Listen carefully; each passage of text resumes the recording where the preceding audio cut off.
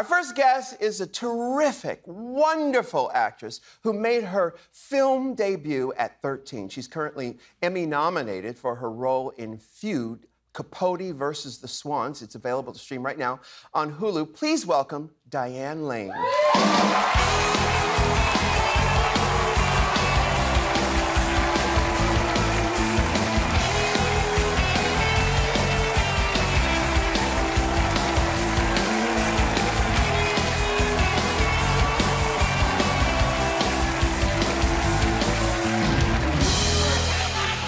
Is so great to have you here. Yeah, we watched you grow up. This is true. I'm still growing, though. You're still growing. Still learning. You have worked more than any other actress in the history of Hollywood. Fair. I'll Yeah. just run with that. yeah. Uh, it- what was what's the longest amount of time you were not in a makeup chair getting ready to go in front of a camera? The longest amount of time you were not. Uh, ooh, probably. I think I got close to two years off at one point. Okay. Yeah. what did you do in those two years? I was hanging with my mama in Georgia. We were eating a lot of bacon and butter, and I was pregnant with my daughter and fixing the lawnmower and all Where in kinds Georgia? of things. Yeah, where in Georgia? Washington County. Where's Washington County, Georgia? Well, there's a small town named Bartow, Georgia. Which Barstow or Bartow? Bartow. Uh-huh. One horse town. Uh-huh. And, um, and, and it's where my grandmother's church used to be her church. She's a, she was a Pentecostal preacher. Really? Yes. So my, my great grandmother, my grandmother, and my mother are all there. and it's, Did she speak in tongues? uh, yeah. She- have you ever played a role where you had to do that kind of a thing? Oh, I'd be scared. You would be, because she'd be looking down saying, uh, uh, uh. Well, I mean, you know, you gotta really toe the line when when you emulate certain things. I don't know. There was some famous person who was quoted saying, "One should never be on camera seen praying or having sex," and I don't have anything to add to that. Yeah. And, and that person who said that was Linda Lovelace. Fair enough. yeah. What do you attribute your, your long career? Because it's not normal to have a career as long as you've had. I mean, uh, 13, your first feature film, and then before that, you were on stage. Yes, yes, that's true. I mean, the era when feud takes place, uh, Capote versus the Swans, is the 70s. And I remember 1975 and watching Truman Capote on shows like this, really kind of self-immolating with alcoholism. And, and it, it was a shock. I don't know if you ever saw the cover of the Esquire magazine. Oh, yeah, I have it right okay. here. Okay, yeah, here it is. Okay, what he's, what he's using for a nail, cleaning his nails Yeah. with a switchblade, I think? Yeah. So it, it, it really cast its pall over New York. And even as a 10 year old, when the Swans were going to La Côte Basque, I was at Smiler's Deli eating honey buns. Wow. You know, Yeah. I didn't know from nothing. Yeah. But where that was Smiler's. Where was Smiler's Den- Deli? Uh, right around the corner from Carnegie Deli. I grew Oh, yeah. on the block of Carnegie Deli, but Carnegie Deli was a little more expensive. Yeah, yeah, yeah, yeah, yeah. So, uh, uh, you remember the, the talk shows? I remember those talk shows from the 70s and Truman Capote and all. Yeah. Were you familiar with the character you play in in, in uh, No, I, I didn't know the uh, elite socialites of Manhattan. I did not. Yeah. Uh, I thought you spelled Basque like B A S K. Why not? I know how to Basque. I can Basque. and, and what kind of research did you do on this character? Because you play Slim Keith. Mm-hmm. Yeah. What do you know about her? I learned a lot about her. Um, I could say many things, but I, because I admire you so much, and we, we, you know, knowing somebody's core wounds is important when you're going to play them. And when I got to read her autobiography, I was fascinated about how it is that she had this steel will to mm-hmm. not let Truman Capote take her down. Mm-hmm. And essentially, she learned that strength of character by not letting her father force her to choose against her mother when she was growing up. Mm-hmm. That's a very tough position to be in. It's shocking. I know what it's like. I had that happen to me in my childhood. There will be a book. Of your book. Because it's, it's always your mother, right? Well, no, I mean, there's just, I mean, again, your your life is. We feel like we know so much about your life already because we've watched you grow up from childhood. That brilliant film, uh, A Fine Romance. A little romance. A Little Romance. But it was fine too. It was a fine romance too, until you know, uh, even watching you play older people, like in. Uh, I always play the age I am.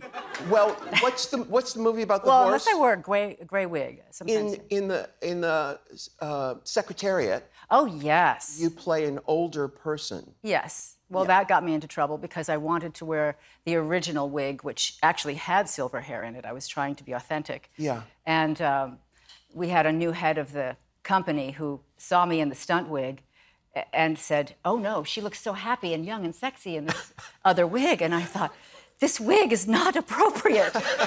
this is the wig that the double's going to be in the distance with the horse. Yeah. Uh, if I had a nickel for every time I've said that, If I can ever contribute to your one liners, I'm winning. Now, okay, now we talked about all these huge movies that you've done in this fabulous television show. Let's talk about the most important movie that you've done, Six Pack. With Okay. Kenny Rogers. Yay! Thank you for bringing him up. I love Kenny Rogers. I love Kenny Rogers. Because you his- gotta know when to fold him. You got to and when to hold when him. to hold. That's right. Now, what, do you have a favorite memory of working with Kenny Rogers? Well, he got my father and I in a helicopter to go to what's that town in in, in Rome, New Georgia? Jersey? No, New Jersey, where, Huh. where, where, where all the concerts are. And oh, oh, right, Meadow, Meadowlands. something like that. Yeah. But anyway, and so my father was mortified. He's like, I'm not going to get in a helicopter. You've been a cab driver. He- Yeah. You know, he's like, we'll take the train, whatever you need. And he said, no, you don't understand. If I don't spend the money, I can't keep it. I, love have that. to fly people in in Yeah. this. Yeah, and he was helicopter. Mm-hmm. performing at this concert in New Jersey. And he gave me a guitar. He was trying to help encourage me to play music. I thought Six Pack was filmed man. in Georgia. Yes, but he came through New York and Okay. his largesse d'esprit, you know, he invited us to his show because he was in town. Was he a lovely person? Lovely man. Yeah. Yeah, big hearted. I mean, the name of his production company was Lion's Share. Yeah. And back in the day, it was $5 to go to the movies. Oh and he got one of every one of those $5. and I said, Indeed, Lion's Share, yes. he really did. Wow. But he was a Leo. I don't know, whatever. Yeah, and then uh, and that that was in Georgia, and and so your family, did your grandmother get to come to set and watch you perform? No, grandma was gone by then. Yeah. But my came. So I turned 17 on that, and then I went right into Outsiders in Tulsa. So I just stayed in the South for a while. And then do you use do your own songs in uh, Streets of Fire? No, you didn't. Who was the voice? Many people. Okay. And different people will tell you accurately that they were the person who was my voice. It was a mélange de je ne sais quoi. I don't know. They, it was a big Jimmy Iovine production. There was a lot of, a lot of irons in the fire. See, because we we were fam- uh, uh, familiar with the movie so much because of MTV, and all the songs from that movie Okay. were on MTV. Yes. And it was. Uh, do, do Hey, Armani did the costumes. You know what I'm saying? Armani did Yes. costumes? Yes. Oh my! Who And did I- this right here? Oh, 5 à 7, if I'm saying it right. Okay. You look absolutely gorgeous. Thank you. Yes. I brought it for you, Rue. Well, you brought it and you brought it well. Thank you. All right, we're going to talk more. We'll be right back after this. How about this for truth? I'm suing you for defamation. And if you want more legal woes, send Babe an invitation to your sorry little party. I dare you. Slim, get real, dear. You were all immortalized by me. Admit you actually appreciate the. Appreciate the what? The philandering men, the idle, shallow, pornographic women. You told more lies to hurt people than. Who does that? Never let the truth get in the way of a good story. That's the, that's the whole show right there. Don't let the truth get in the way of a good story. Yeah, that is what it's all about right there, you know. Uh, it's me. Truman Capote. Uh, Isn't you- Tom Hollander wonderful? he is divine. and Naomi as Babe. Oh I my mean, gosh, I were you- love their work and their show. And Treat Williams. yeah, Les, yeah. Les. Were you friends with the ladies, the other swans, before? Yes, we had fun. Yeah. Were you friends with them before you started filming? No, we had so many close associations. You Yeah. know, it's almost like your siblings just by association. Yeah. When you when you're in this business. As you know, it's kind of like a big circus family. It is like a big circus family. Because I know your father was a, an acting coach. Um, he was a teacher of acting. was a acting, yeah. teacher. He and John Cassavetes. In fact, God bless Gena Rowlands. May Mm-hmm. she rest in peace. Yeah. Gloria forever! Gloria forever! exactly. Yeah. Exactly. They were all they were all buddies in the 50s. Really, with Yeah. Peter Falk and, Yes. and all those Yeah. those guys. And so, um, did your father uh, teach you how to go on a set and and uh, ask for what you needed? No. He tried. And you know, the cobbler's children have no shoes. I wouldn't take any advice. God forbid I could learn anything from my father, who was a professional teacher. Um, no, I was very shy around him. He would try to help me prepare for auditions, and I would only let him get me so far. I was a Hmm. terrible auditioner, I think. I don't think I got many jobs from auditioning. Yet you have been in the business forever. What, what do you think? What do you think casting directors- Methuselah. I'm Meth- well, yes. Well, there's that too. But you still look gorgeous. Thanks. Absolutely Thanks. gorgeous. Thanks, Mom.